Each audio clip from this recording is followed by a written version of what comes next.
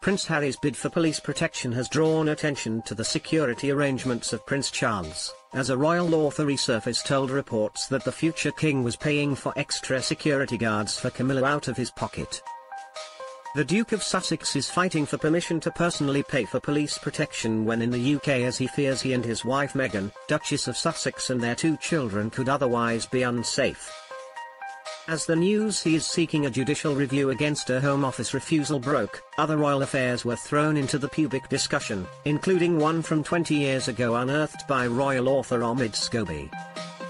The author of Finding Freedom, the unofficial biography of the Sussexes, wrote on Twitter, Throwback, in May 2002, The Guardian carried a report claiming that Prince Charles privately paid for two full-time police protection officers for his then long-term mistress, Camilla Parker Bowles.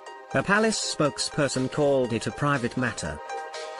The story, which dates back to 2002, brought forward the allegation the Prince of Wales was paying for two full-time security staff for his consort, then Camilla Parker Bowles, now Duchess of Cornwall. Prince Charles's spokeswoman said, whatever the prince is providing is a private matter.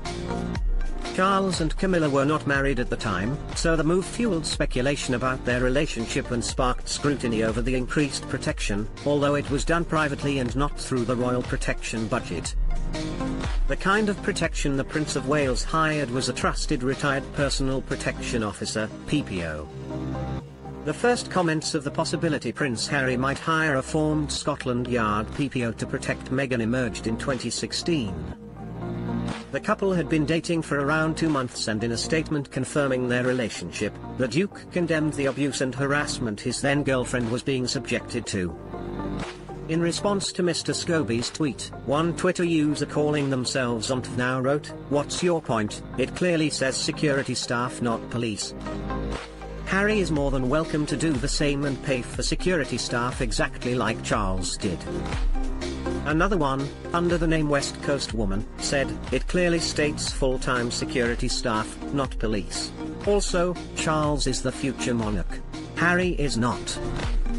The Duke, who lost his taxpayer-funded police security after stepping back from royal duties in 2020, says his private security team does not have adequate jurisdiction abroad, meaning they cannot replicate the work of police protection in the UK, with their access to local intelligence and legal jurisdiction.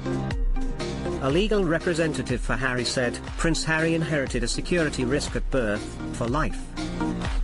He remains sixth in line to the throne, served two tours of combat duty in Afghanistan, and in recent years his family has been subjected to well-documented neo-Nazi and extremist threats. They added he wants to personally fund police protection, not to impose on the taxpayer, which he offered in talks with the Queen over the Sussex's future role in January 2020 at Sandringham. The representative said the petition was dismissed. Through the application for a judicial review, a challenge in the High Court against the decision of a public body or government department, Harry is hoping for trouble-free visits to his home country. The legal claim, they confirmed, was filed in September. The representative added, the UK will always be Prince Harry's home and a country he wants his wife and children to be safe in. With the lack of police protection, comes too great a personal risk. While Harry's battle for UK police protection led to some angry criticism of him and Meghan, many members of the public showed their support for the Duke under Mr. Scobie's tweet. Twitter user Annette Carvoki wrote, This is about punishing Harry for living a successful life in California. They hate he is not struggling. But let them continue. The more they persecute him, the more he is blessed. And Poppy said, his car was chased at high speed by paparazzi during his last visit to London. Just like his mother. He was not protected. The Duke's latest move follows a security incident in London in July 2021 when his car was chased by photographers as he left a charity event. Clarence House has been approached for comment.